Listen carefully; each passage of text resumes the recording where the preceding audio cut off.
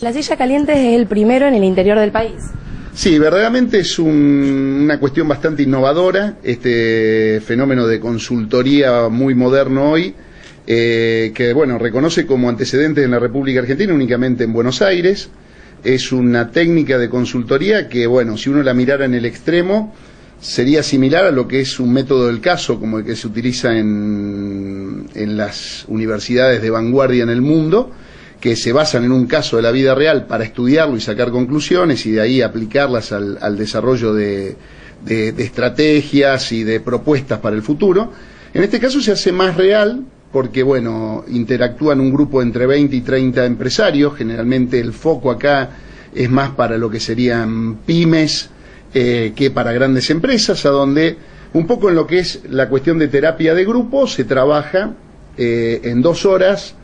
eh, cuatro, cinco, seis casos de las personas que asisten, donde, bueno, pasan esa silla, en esa silla eh, se tornan el eje de la, de la conversación, accediendo, bueno, a la- al apoyo de Patricio Pecker y al mío en forma personal en cuanto a consultores, pero también interactuando en experiencias que puedan haber vivido el resto de las personas que están integrando ese grupo. Lo destacable es que no es la actividad nada más que de ese día,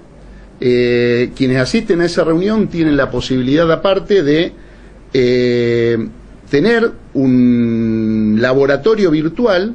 en el que se va a continuar un poco la tarea esta en dos o tres jornadas posteriores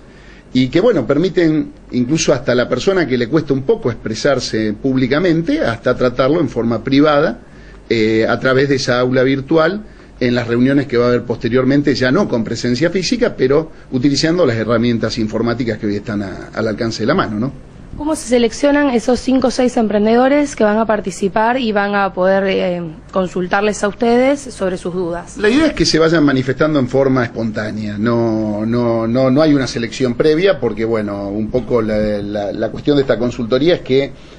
nace de la misma voluntad de la persona participar para que nadie se sienta condicionado, ¿no es cierto? Eh, el tema es, como te decía, una técnica muy usada a veces en, en ruedas que tienen que ver con apoyos psicológicos y demás, a donde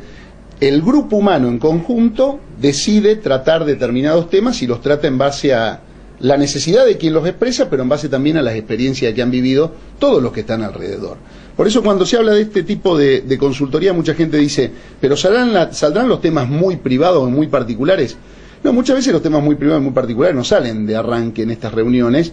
pero sí salen temas que pueden ser de raíz general. Por ejemplo, por plantearte cuestiones que pueden ser vigentes hoy. La relación de las pymes con los sindicatos, las cuestiones de los costos crecientes cuando vos tenés problemas de precios en el, a, nivel de llevar esos, esos costos a precio de mercado, eh, cómo financiarte, cuáles son las líneas de financiamiento más accesibles, bueno, eh, cómo incorporar a lo mejor a sucesores dentro del, del grupo de empresa familiar. Bueno, esas cosas a veces son terriblemente comunes, sin entrar en cuestiones muy íntimas de la empresa. Y el hecho de estar conviviendo entre 20 y 30 empresarios con dos consultores que los puedan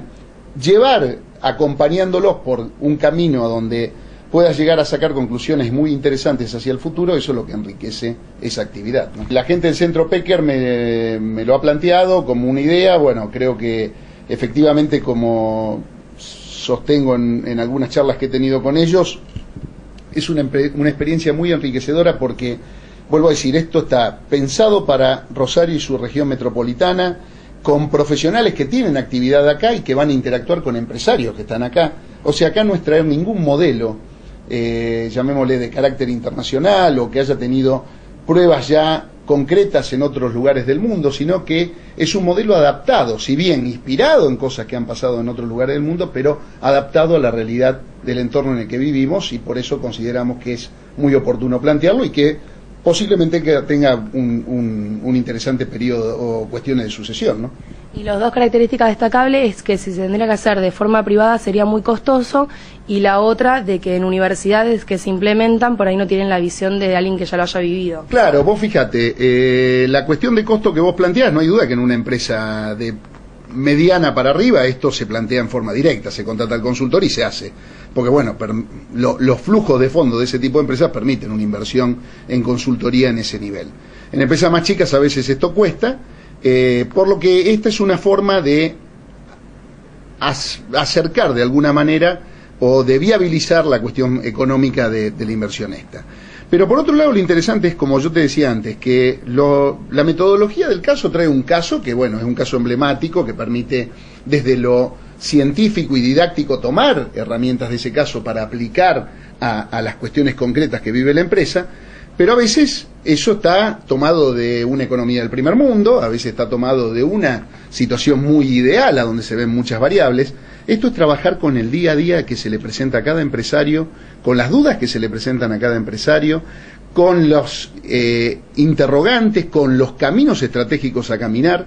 y creo que esto lo hace particularmente interesante. Apoyado por un profesional que tiene una clara eh, experiencia en lo que es marketing, comercialización y demás, y por otro, como es el caso mío, que tiene años en lo que es dirección, planeamiento estratégico, análisis financiero. Bueno, entonces creo que es bastante multifacético el grado de apoyo que le podemos brindar a esas personas que participen en esas, en esas jornadas, ¿no?